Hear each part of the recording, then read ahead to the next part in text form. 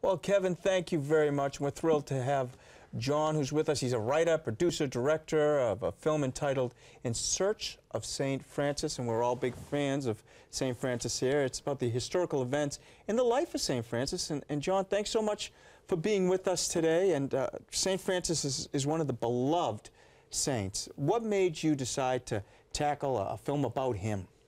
Well, it goes back to my conversion years. I wasn't really uh, Catholic. I wasn't born as a Catholic, so I went to a Christian school till fifth grade.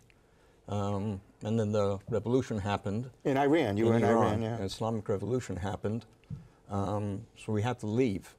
And um, we had to leave for Paris. I went to Paris for four years to get the green card. So all those years I forgot Jesus. I mean, the whole revolution cut me off from mm. Jesus. Mm. I forgot about Jesus. I even forgot about God. I didn't even realize God was there. Um, so that, that went on until I entered graduate school. And my dissertation advisor was a prominent Catholic, and I started talking with him about God and about Jesus and about Catholicism.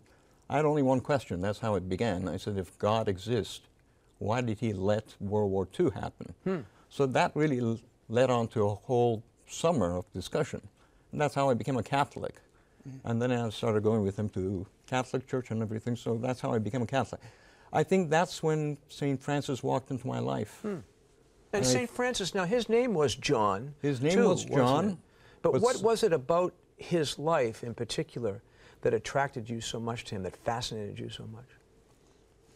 I went through different phases. I mean, in the beginning, I was St. Peter denying Christ. Then there was St. Paul, who was right there on fire. And then Francis was about peace.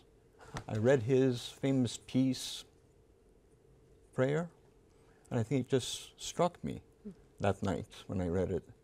And I realized that St. Francis is probably the most incredible saint. Then I read more and I realized he's about simplicity. It's not about, you know, great cars or a big house. It's about simplicity. Just being able to live in nature, enjoying nature. And of course, in California, you have Yosemite, you have Pacific Ocean. So in that phase, I just really loved nature, and Francis spoke to me, and I think uh, I even I would say I had a mystical you know experience there with Saint Francis um, and nature and peace. What would you, uh, how would you describe the film? What will people experience when they watch the film? What will they see? I think the best thing, I think I would answer that um, through St. Francis' his own words. He called himself a fool for God, which is amazing. And uh, what does a fool for God mean? It means someone who will do anything for God, like St. Peter. He was willing to lay down his life for Jesus. Uh, and that's St. Francis. He was such a fool that during the fifth and sixth crusade, he went all the way to Damietta, Egypt. We don't have that anymore, except mm-hmm. Pope Francis. He, if I may say so, he's a fool for God as well. And uh, when you think about it, our problem today is that we don't have enough fool for gods. Mm-hmm. So I think, I think people, I hope, will take that into hearts and mind that uh, St. Francis was a fool for God. And in, in making the film, John, was there something unexpected you discovered about this simple but great saint? Well, one thing that I really, the, the, when I, the first part, the, I put my camera on my shoulder, and the title of the film exactly is what it is. I put the camera on my shoulder, and I went out to discover Francis. I mean, Francis has been with me for 20 years, you know, and I went to find him out. And the first thing I saw, I was invited to the block party of the Friars of Renewal in the Bronx. And it was amazing. I mean, Father Lewis was playing the saxophone, and Brother Luke was playing the, you know, guitar, and they were singing, When the Saints Go Marching In. And everyone there was poor and marginalized, hamburger, hot dogs. I mean, Franciscans do exist today, and Francis is not dead. I think that was amazing to see that. Um, the Third Order, the lay order, secular Franciscans are really doing amazing work. That exists. And um, I was affirmed to me that Francis is alive.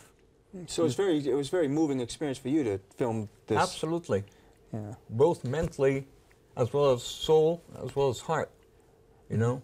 Now back to the Pope. I got to ask you about the Pope because you mentioned him being a fool for Christ as well. Obviously, he took the name Francis because of his respect for the simplicity and holiness of this man. But what other similarities do you see? Everything. Everything. That's actually not a fair question. Um, because everything between Francis and the Pope is the same thing. To be honest with you, this, they're so similar that I, I would not be surprised if Pope Francis gets a stigmata as well. Um, if you look at his care for the home encyclical, Laudato Si, you'll see that it's divided into two different parts. The first part is all about nature and global warming and climate change, and the second part is about the poor and the vulnerable. And it's funny because when I was in California, it was a nature. But then when I came back to New York, it was a culture shock because all I saw was the poor and the vulnerable in the street, mothers with the kids needing money, needing food. Um, that's what the encyclical is about. Pope Francis experienced it, you know, saw it, and he wrote it in his encyclical, and that's what Pope Francis was. Uh, I'm sorry, Saint Francis was about. Well, we're running out of time, John. In search of St. Francis, where can people find the, the film? Uh, the film, you can reach me at uh, John dot Walker Films NYC and dot com. Very good. Well, John, it's been a pleasure. Thanks for taking on this. Uh, seems like a great project. Look forward to Thank you. seeing it. We'll be back with more of This Is the Day right after this.